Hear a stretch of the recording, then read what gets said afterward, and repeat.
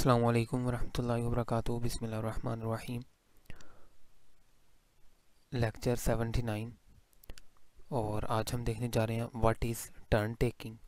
اور اس میں ہی ہم دیکھیں گے کہ pauses and filled pauses and strategies to avoid completion point. اور how to how do we take turns. ٹھیک ہے، یہ ہے کچھ چیزیں جو ہم آج کے لیکچر میں دیکھنے جا رہے ہیں۔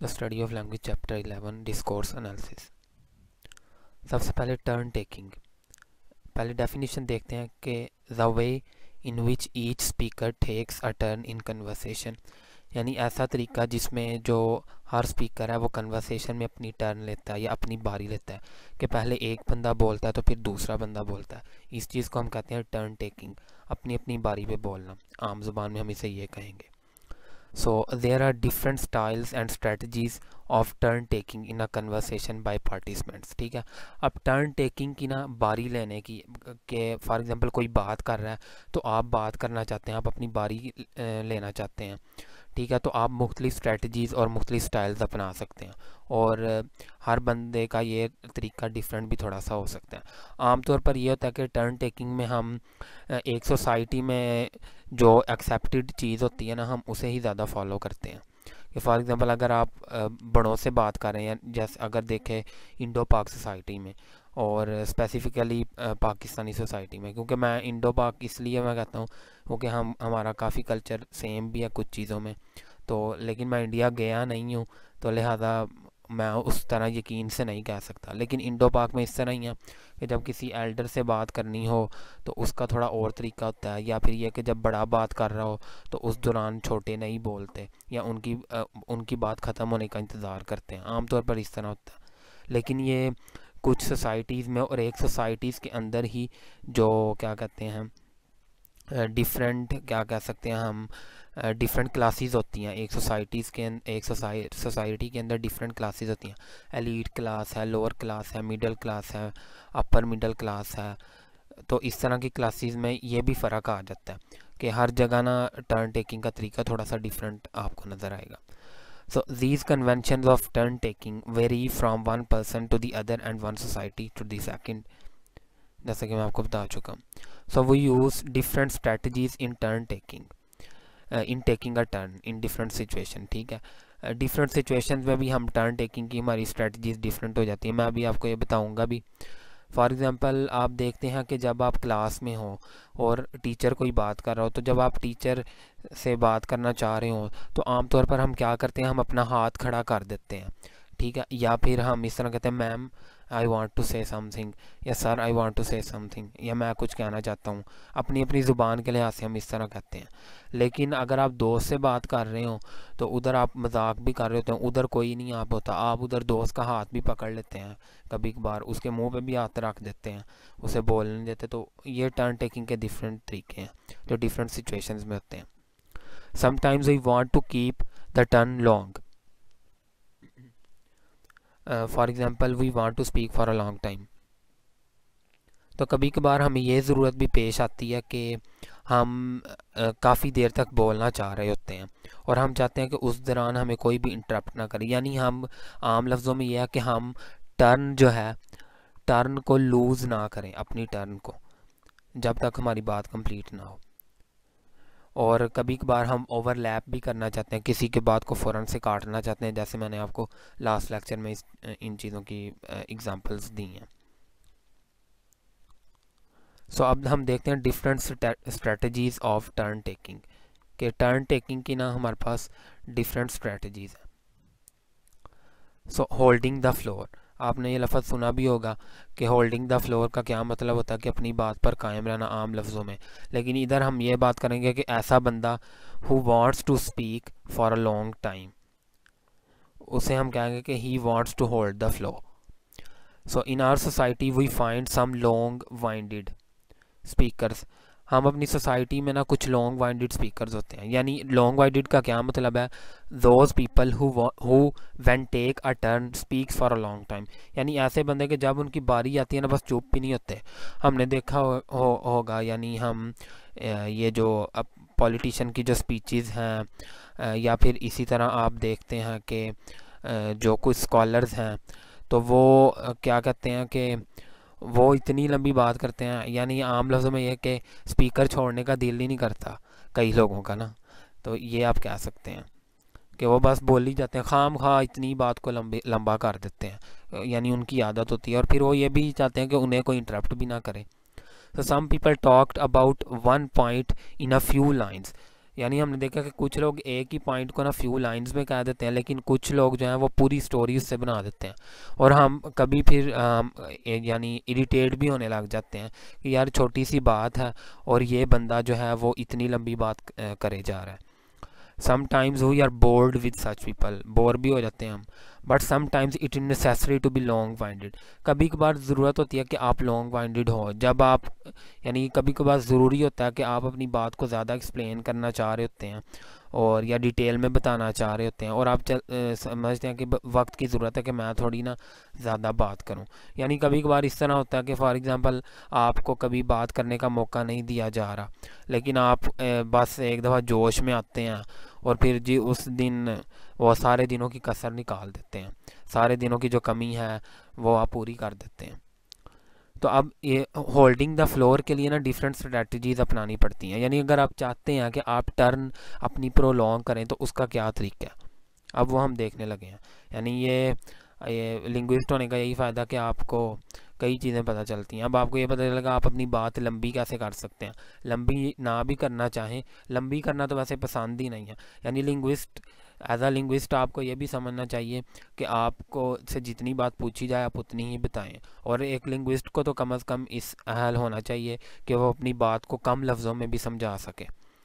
تو لیکن یہ کہ جب ہمیں ضرورت پڑے اور ہم اپنی ٹرن کو پرولونگ کرنا چاہیں تو اس کے لیے ہم کیا کر سکتے ہیں؟ تو سب سے پہلا ہے avoid completion point and silence completion point کیا ہے؟ یہ اس کے لیے آپ میرا لاسٹ لیکچر دیکھ سکتے ہیں اور کہ آپ نے کمپلیشن پوائنٹ اور سائلنس کو اوائڈ کرنا ہے۔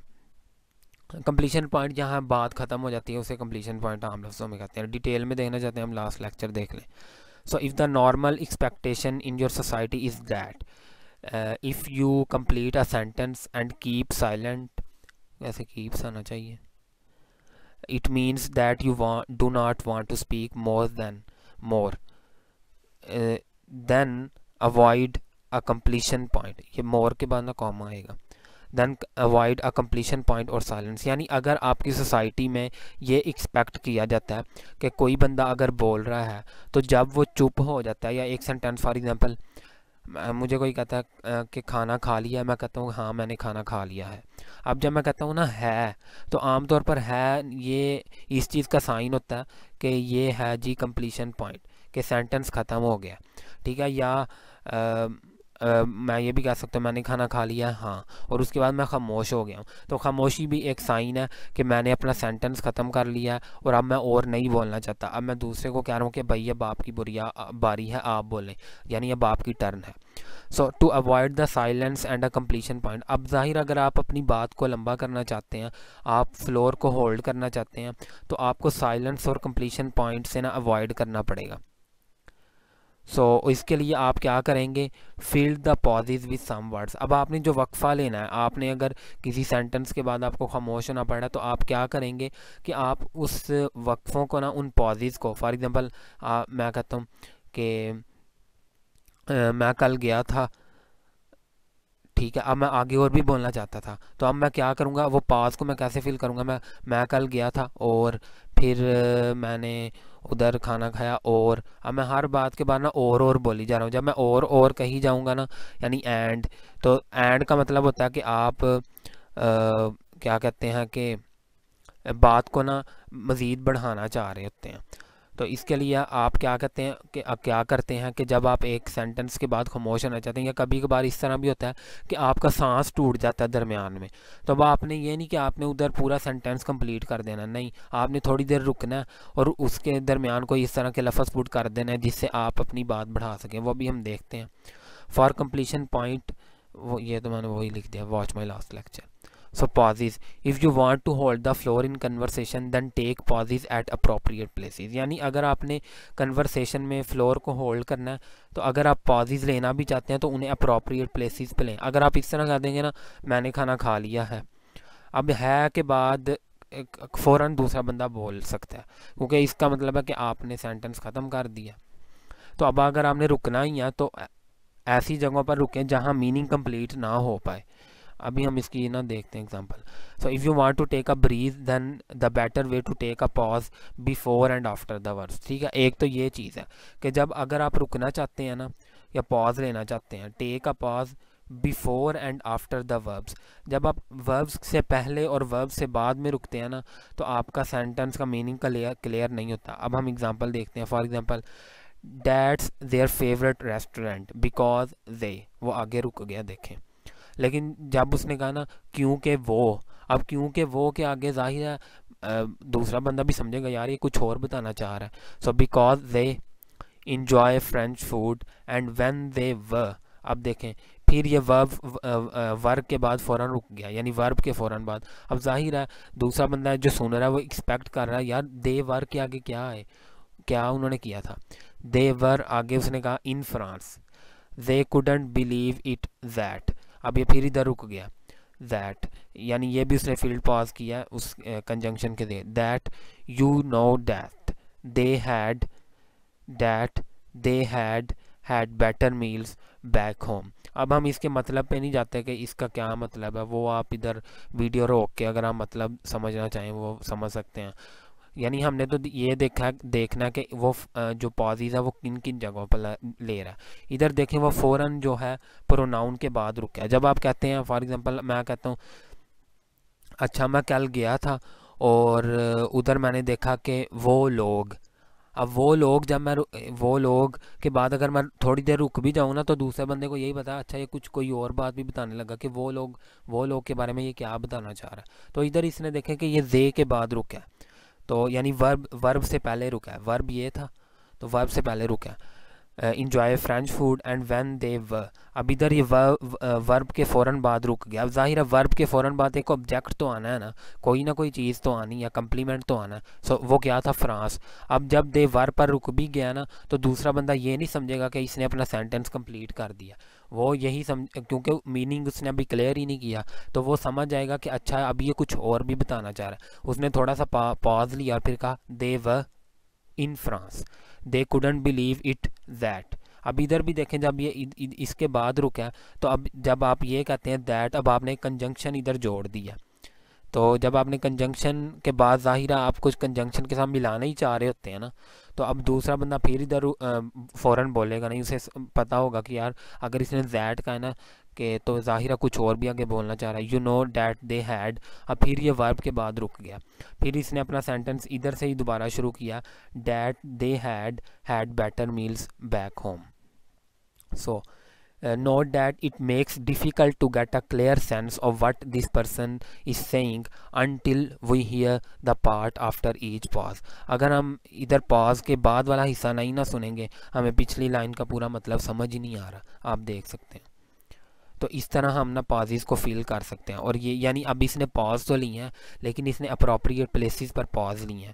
اب یہاں یہ فلور کو ہولڈ کر سکتا ہے۔ لیکن اگر یہ یہ کہتا ہے نا their favourite restaurant because they enjoy French food اور اگر یہ ادھر رک جاتا دے انجوائے فرینچ فوڈ تو ادھر اب اس کا نا سینٹنس کمپلیٹ ہو جانا تھا فوڈ پر۔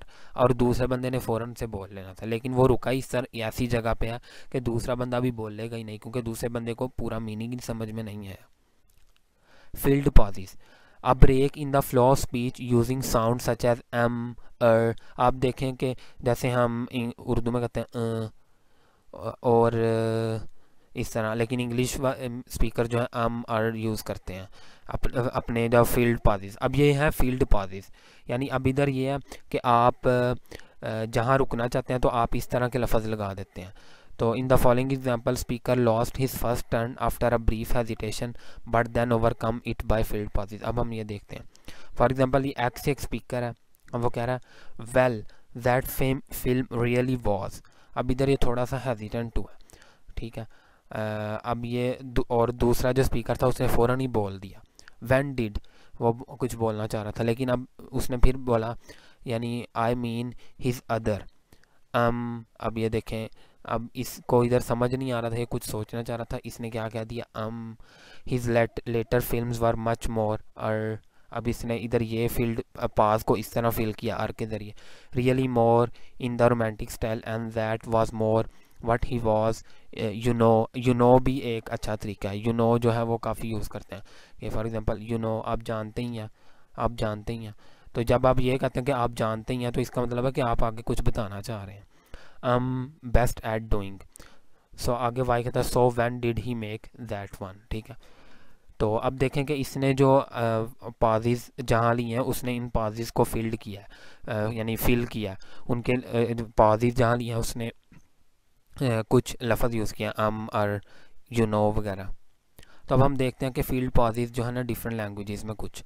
بٹ اردو میں ہم لیکن، ظاہر ہے جب آپ لیکن کہتے ہیں کہ میں میں تمہارا یہ کام تو پورا نہیں کر سکتا۔ لیکن جب آپ کہتے ہیں نا لیکن، تو ظاہر لیکن کے بعد اب دوسرے بندے کو پتہ ہوتا ہے یہ کچھ بولنا چاہ رہا ہے۔ تو یہ کوئی بندہ یہ نہیں کہے گا کہ جب آپ لیکن پہ رکیں تو وہ اپنی بات کر دے۔ اردو میں اسے لاکن کہتے ہیں۔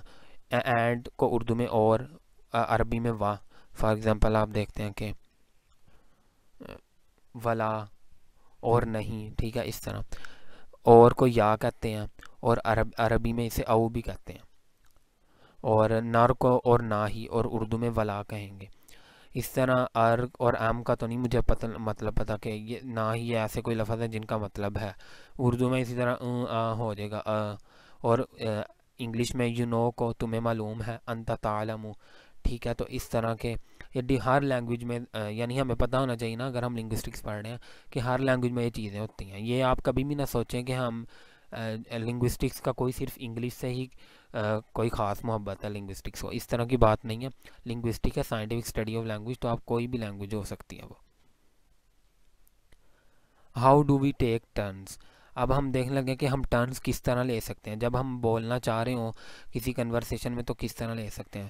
ہم ساؤنڈز اور فریزز کچھ یوز کرتے ہیں۔ تو جیسے میں نے آپ کو بتایا ہے کہ ساؤنڈز اینڈ فریزز میں ہم کہتے ہیں ام ام کے ذریعے بھی ہم ٹرن لینا چاہ رہے ہوتے ہیں کبھی کبھی، یا آپ کلاس میں بیٹھے ہوں تو آپ کچھ بولنا چاہ رہے ہو، آپ کہتے ہیں سر سر، اور ساتھ آپ کبھی کبھی اپنا ہینڈ بھی ریز کر دیتے ہیں یعنی ہاتھ بھی کھڑا کرتے ہیں اور کہتے ہیں سر، یا پھر آپ یہ بھی کبھی کہتے ہیں ایکسکیوز می او نو نو نو نو آپ کہتے ہیں یعنی جیسے نہیں نہیں نہیں یعنی اردو میں اس طرح کہتے ہیں، جب کوئی بندہ بول رہا ہو نا، آپ اسے اوور لیپ کرنا چاہ رہے ہو ٹرن لینا چاہ رہے ہو آپ کہتے ہیں نو نو نہیں نہیں، جیسے میں نے اردو میں لکھا اچھا نہیں اچھا ایک منٹ اچھا اور اسی طرح سر بھی کہتے ہیں ہم میم بھی کہہ دیتے ہیں اچھا ایک منٹ، ہم کہتے ہیں ایک منٹ، یہ میں نے ون منٹ تو لکھا ہے، لیکن اس کا مطلب ہے ایک منٹ، ہم کبھی کبھی بات میں کہتے ہیں اچھا ایک منٹ، میری بات سنا ایک منٹ ایک منٹ میری بات تو سنو، میری بات تو سنو، یہ بھی ہم کب کرتے ہیں جب ہم کسی بندے کی اسپیچ کو اوور لیپ کرنا چاہ رہے ہوں؟ یا اوے اوے بھی کہہ دیتے ہیں۔ اور اسی طرح باڈی شفٹس میں نے آپ کو بتا دیا کہ ہم کبھی کبھی ہاتھ کھڑا کرتے ہیں کلاس میں جس سے ٹیچر کو پتہ چل جاتا ہے کہ بچہ کچھ کہنا چاہ رہا ہے۔ فیشیل جیسچرز بھی ہم اس طرح کے شو کرنے لگ جاتے ہیں، اس سے بھی ٹیچر کو عام طور پر پتہ چل جاتا ہے۔ Hold hand of the other sometimes یہی میں نے آپ کو بتایا کہ کبھی کبھی جب ہم اپنے دوستوں کے ساتھ ہوں تو ہم ان کا ہاتھ ہی پکڑ لیتے ہیں۔ اچھا میری بات سنو، اور ہاتھ پکڑ لیتے ہیں ہم اس طرح۔ اسٹینڈنگ فرام یور سیٹ اور کئی لوگ اس طرح ہمیں سے، کئی اسٹوڈنٹ جذباتی ہوتے ہیں، وہ ٹیچر سے کوئی بات کرنا چاہ رہے ہیں وہ کھڑے ہی ہو جاتے ہیں۔ ٹھیک ہے؟ اس طرح بھی، اس طرح کے بھی کبھی کبھی جذباتی سچویشن آپ کو دیکھنے ملتی ہیں۔ کلاس میں بھی کہ کبھی کبھی ٹیچر بول بھی رہا ہوتا ہے تو ایک بچہ خود ہی کھڑا ہو کے جا کے ادھر جا کے ڈائس پہ بولنے لگ جاتا ہے، ٹھیک ہے؟ تو اس طرح کی بھی سچویشن نظر آتی ہیں۔ یہ اب مختلف طریقے ہیں جو ٹرنز لینے کے ہیں۔ تو یہ بھی سوسائٹیز میں ڈفرینٹ ہو سکتے ہیں کہ آپ نے کس طرح ٹرن لینی ہے۔ تو یہ تھا آج کا ہمارا لیکچر نیکسٹ لیکچر میں ہم دیکھیں گے what are agencies sorry adjacency pairs یہ لفظ میں آپ کو انشاءاللہ نیکسٹ لیکچر میں اس کی صحیح پرننسیشن بھی بتا دوں گا۔ ایڈجس سے ہی لگتا ہے، یا ایڈجنسی ہو نہیں سکتا کیونکہ ڈی عام طور پر سائلنٹ ہو جاتا ہے۔ So what are adjacency pairs یا ایجنسی پیئرس جو بھی ہے، خیر میں انشاءاللہ آپ کو اس کی پروننسیشن بھی بتا دوں گا۔ ٹھیک ہے، تو مجھے امید ہے کہ آپ کو آج کا لیکچر سمجھ آ چکا ہوگا۔ اگر آپ کو کوئی بھی کنفیوژن ہو، کوئی بھی غلطی نظر آئی ہو، کوئی بھی کمی کوتاہی نظر آئی ہو، تو آپ کومنٹس باکس میں ضرور شیئر کریں۔ so remember in your prayers don't forget to give your feedback. Jazakallah khairan and thank you.